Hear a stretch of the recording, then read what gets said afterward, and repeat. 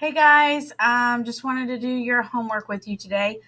Again, um, these, excuse me, these copies didn't come out well, so you can skip number seven and number eight for your homework tonight. Um, so I'm gonna do the odds with you today. So we have one and eight tenths plus 856 thousandths. Remember, when you're adding or subtracting a decimal, you line up the decimal.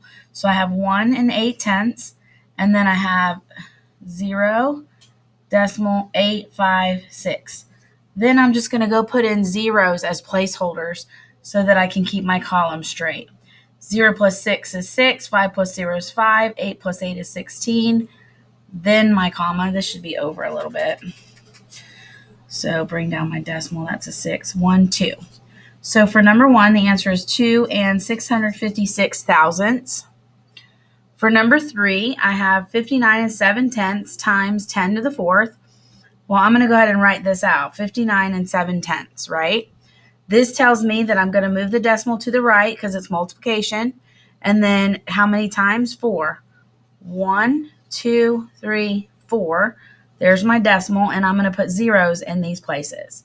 So my answer for number three is 597000. The decimal is here, but you need to go put in a comma. So the answer is 597,000. All right, number five, um, you need to make sure you're reading the directions. It says which expression would be solved first. It's not asking you to solve this. It's asking you what would you do first. So I know my rules of GEMDAS, right? grouping symbols, exponents, multiplication, division, add, subtract. So I don't see any grouping symbols. Do I see any exponents? Yes. So what I'm going to do first is 6 squared. That's what I'm going to do first. Number 9, what letter is at the coordinates 0, 0? Well, I go over to my friends at 0 and up to the room at 0. So for number 9, the answer is J. Ooh. Hey, guys.